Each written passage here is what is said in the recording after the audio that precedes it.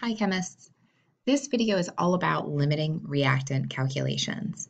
This is the part of stoichiometry that you not only need to be able to do the calculations, but you also need to be able to understand what these calculations mean. By the end of this video, you should be able to identify the limiting and excess reactants, use stoichiometric calculations as evidence to support the identification of your limiting and excess reactants. The limiting reactant, which often has the abbreviation L period R period, is the reactant which runs out first and limits the amount of product that can be made. In this class, we are going to use two mass-mass calculations. The limiting reactant is always going to be the one that yields the smaller amount from those mass-mass calculations. So here's an example. So let's say that I want to make you funfetti cupcakes. They are my favorite cupcakes, so hopefully you like them too. So this represents our, I guess, balanced equation. So in order to make a pan of cupcakes, I need a box of mix, I need three eggs, and two tablespoons of oil. That will give me one pan. Now, obviously, I have more than one class and I have quite a few students in the class.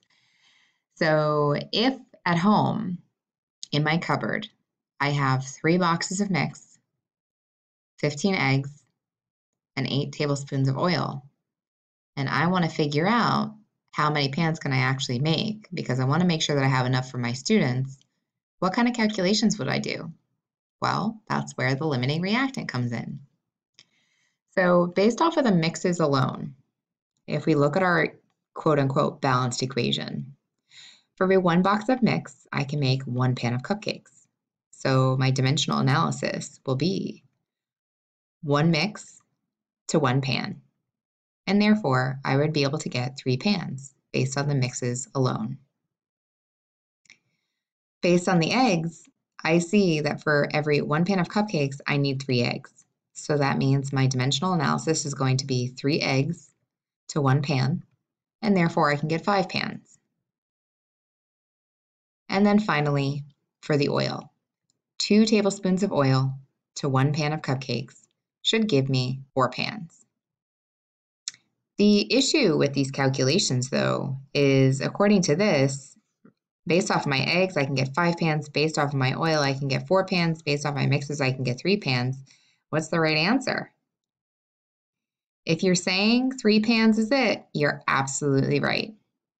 Because in this case, we would say that the mixes are quote unquote the limiting reactant because they are the ones that are used up first.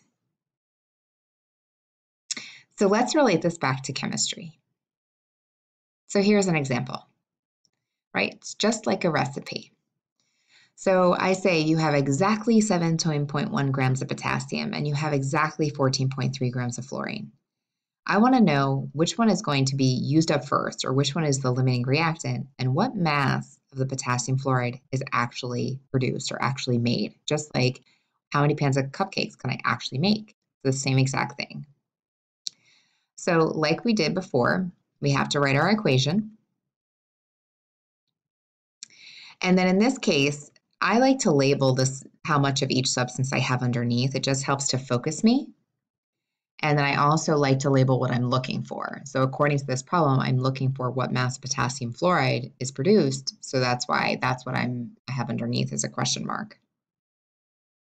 I'm going to do one calculation that goes from the mass of potassium into the mass of potassium fluoride. And then I'm going to do a second calculation where I'm going to go from the mass of fluorine into the mass of potassium fluoride. Again, we did a very similar calculation with when we did our pans of cupcakes. So I'll start with the first calculation. We've got 17.1 grams of potassium. I want to know again what mass of potassium fluoride is produced just based off of the potassium alone. So we'll take our grams of potassium, convert into moles, use the mole ratio and notice the mole ratio is going to be between the, the potassium and the potassium fluoride. The last step is we want to figure out what mass of potassium fluoride is produced. So we'll have to do our little calculation off to the side and then plug that in for our conversion factor. When you calculate this, it says that you should get 25.4 grams of potassium fluoride. However, we don't really know if that's the amount that we can produce because we don't know if potassium is the limiting reactant or not. So our next calculation, that's the line in blue. I'm going to go from the mass of fluorine into the mass potassium fluoride.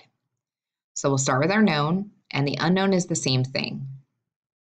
We'll start with our 14.3 grams of fluorine, convert into moles of fluorine using the molar mass.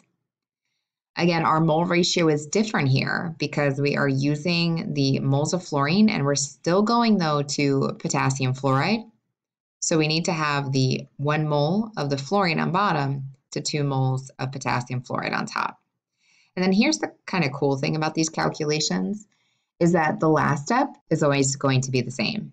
So in this case, we're just going to literally copy down the same exact last step because in both cases, we still want to know what mass potassium fluoride is produced.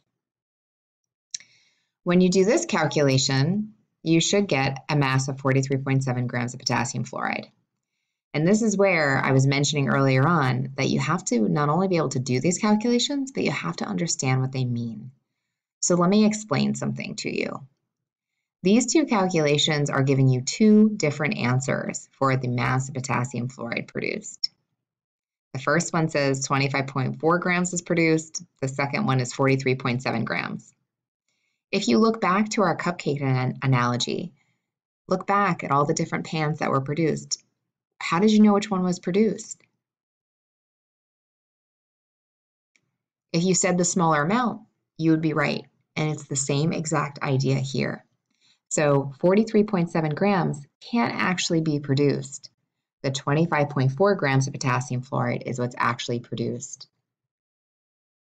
So what we say in chemistry is because this is limiting reactants, we would say the potassium is the limiting reactant because we need to actually pick a reactant. Either potassium or fluorine is the reactant. In this case, we have to pick the potassium. And the reason why is because only 25.4 grams of potassium fluoride is what is produced. You can't actually make the 43.7 grams because essentially the potassium runs out first. Just like my pans, we said that the mixes would run out first. So hopefully this was helpful for you as you think about what it means to be doing limiting reactant calculations. You will again have some homework and some extra practice and these notes were kind of short so that you would have extra time in class to work on it. Thank you so much for watching.